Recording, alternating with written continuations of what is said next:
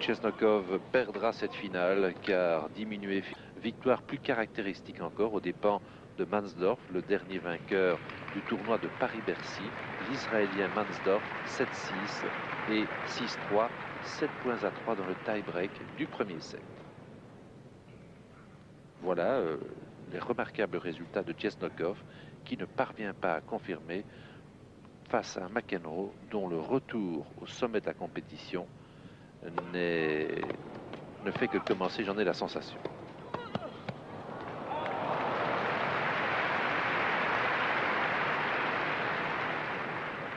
La 15. 0-15.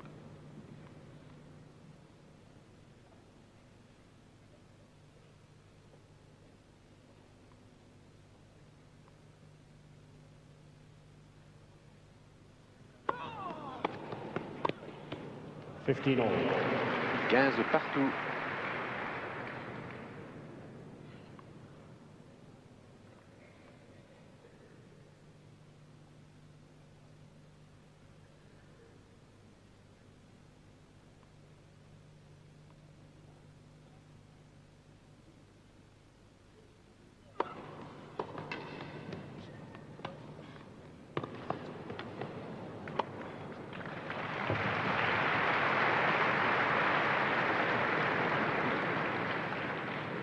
30, 15.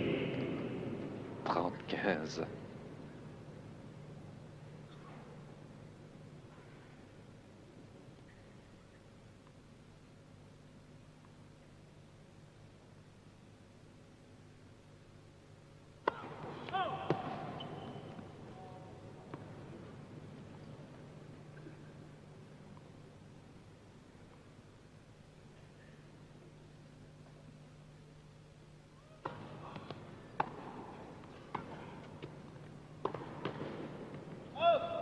40, 15. 40,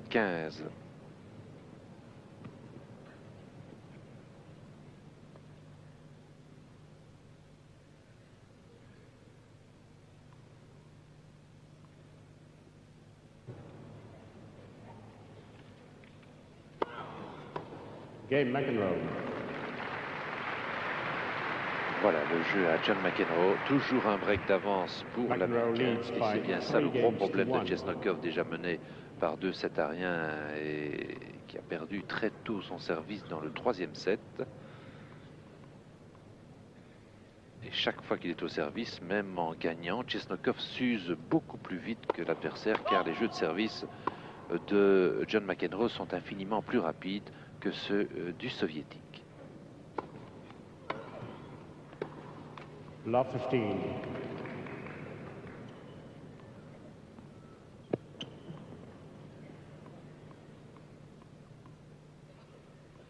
0-15.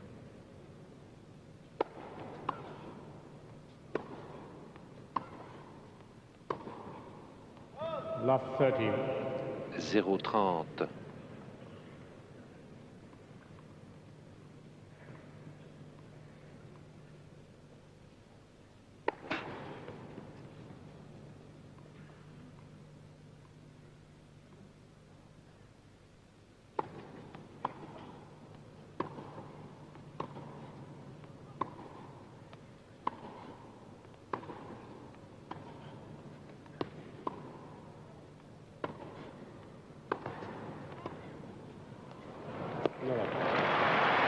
Là, la cheville de Chesnokov qui a l'air de revenir, de redevenir très douloureuse. Ah oui, une 40. nouvelle fois sur un rallye. En poussant un peu trop sur le talon droit, Chesnokov a réveillé sa douleur. 0,40, score catastrophique pour Chesnokov qui avait déjà abandonné un jeu de service dans le troisième set.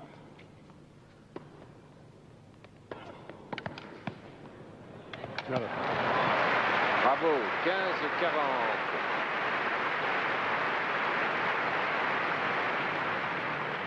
Voilà une volée basse, 15, 40. amortie et posée, exemplaire.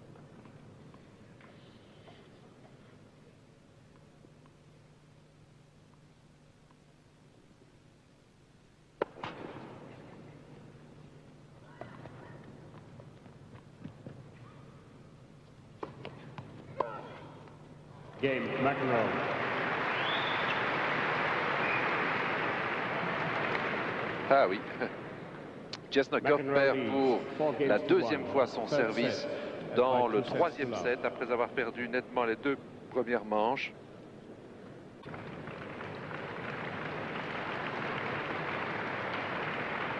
Le match a perdu brutalement de son intérêt. Il est vrai depuis la, la blessure à la cheville de Chesnokov, même hormis cet incident malheureux dont se serait bien passé le soviétique, McEnroe, il est vrai, domine le- son adversaire dans tous les secteurs de jeu. 4-1, troisième manche, l'Américain est au service.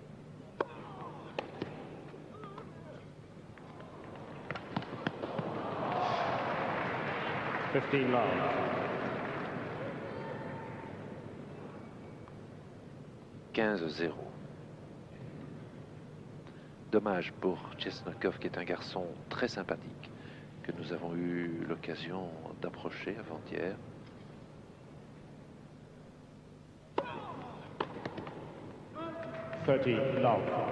Garçon modeste aussi,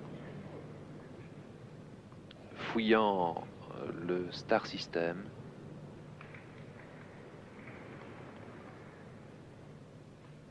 Un peu à l'image de son capitaine de Coupe Davis, Metrevelli, finaliste de Wimbledon en 1973. De toute façon, je suis convaincu que c'est aujourd'hui le grand retour des pays de l'Est sur la scène internationale. On connaissait bien sûr les- cette prodigieuse équipe tchécoslovaque. Mais les soviétiques auront encore leur mot à dire avec bien sûr Chesnokov, mais aussi Olkowski côté euh, masculin, avec l'actuelle championne du monde des juniors côté féminin, Natalia Zvereva. 40-0 déjà pour McEnroe. 3 balles de 5 jeux à 1, troisième manche. First service.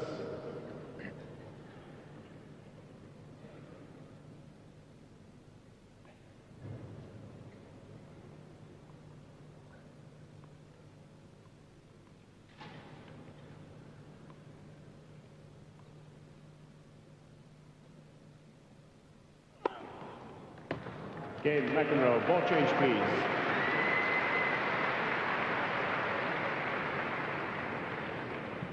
Cinq jeux à 1, c'est tout doucement. La fin maintenant pour Chesnokov. Pressé d'en finir, souffrant de plus en plus de la cheville. Une mobilité qui se fait de moins en moins évidente. Chesnokov va servir alors qu'il est mené par 2-7 à 0 et un jeu à 5 dans la troisième manche. Situation désespérée.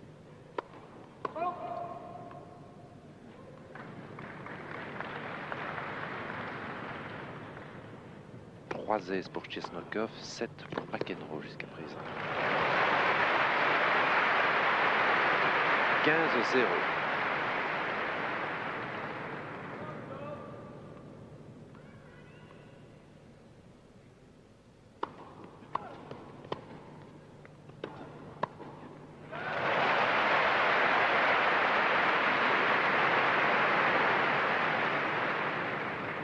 30-0. Chesnokov soutenu par un public connaisseur. Forty love. 40-0. Un public beaucoup plus connaisseur que le public parisien de l'Open de Bercy.